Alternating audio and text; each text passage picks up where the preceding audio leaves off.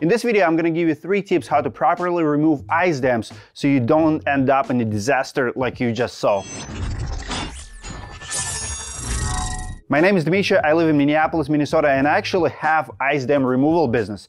I've removed thousands of ice dams and I want to show you what went wrong with this video. You need to understand what ice dam is and how it forms to properly remove it.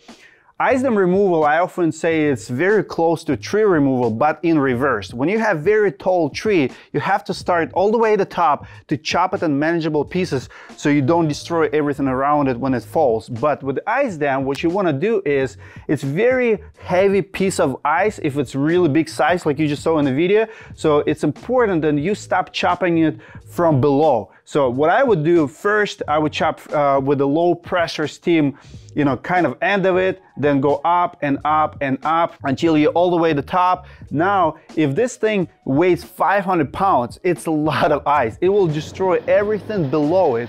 You know, now you can cut it to 50 to 100 pound pieces until you're all the way to the top. It might take you a little bit longer, but it's worth it because you're not gonna get as much damage down below. My second tip is make sure you understand the gravity and when it's gonna fall. What I didn't understand in this video, they have crane, they have equipment. Why in the world they start all the way at the top? Because gravity does not lie. It's pretty much straight line. With a tree, you have to manage, you have to think about where the tree is gonna fall.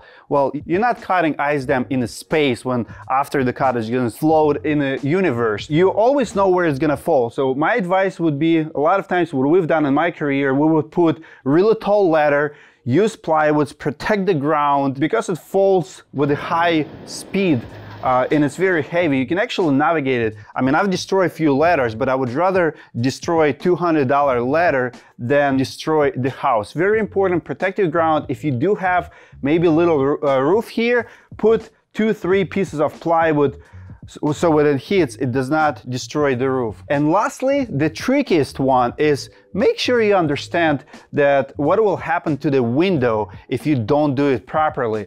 Windows made out of glass and they don't like contacts with the glaciers, right? So you don't want to introduce them to each other because it will freaking break. So here's what you want to do and here's what you want to understand.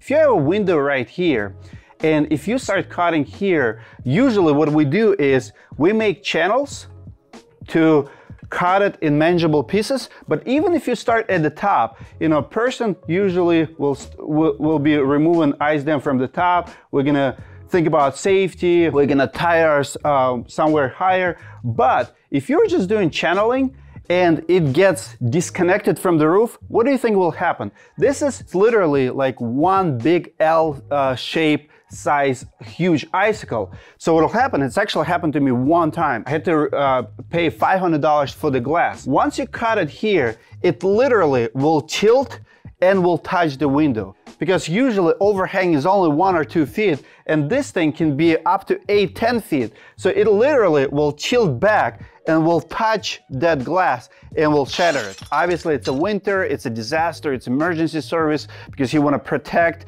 the house like I said, in Boston 2015, I ended up paying for one. It was about 500 bucks. Ate my profits on the job was my fault. Icicles actually were all the way to the ground. I could not chop them. I was very careful at the top, but it was just no way around it. I knew the risk. I went for it. And what happened for me, the icicles were so big. It was one level house. I could not chop it because if I start chopping here, I was afraid that I still would break it from the top. It was one of the trickiest ice dam jobs I've have. So what I did is I started doing these channels and at one point my ice dam broke in the middle and kind of caved in and broke huge window. That window was like six, seven feet.